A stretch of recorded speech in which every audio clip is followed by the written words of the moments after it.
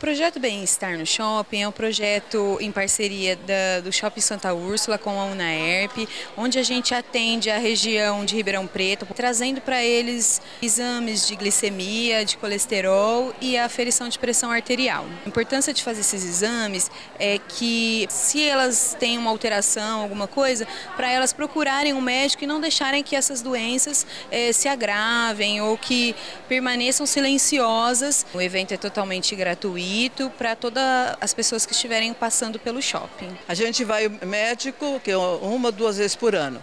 Então, aqui é todo mês a gente tem esse controle. Colesterol, pressão, uma, uma vez por ano que sobe, né? De repente acontece. Venho sempre, estou sempre aqui. Eu acho que a gente tem que aproveitar, né? A oportunidade.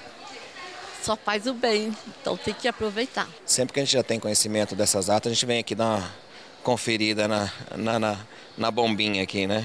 É um exame fácil, rápido, mas que te pode prevenir para muitas doenças, né?